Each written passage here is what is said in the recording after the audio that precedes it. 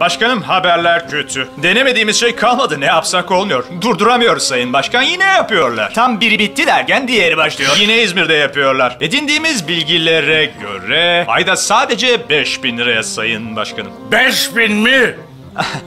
İnanız. Yaptığımız onca şey işe yaramadı mı? Hayır, hayır.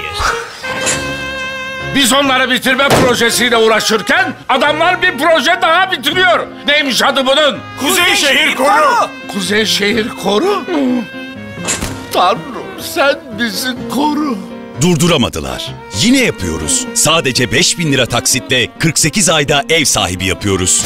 Kuzey Şehir Koru. İzmir'in en iddialı projesi. Yüce Soy'dan. Size var benim soru. Where is Kuzey Şehir Koru?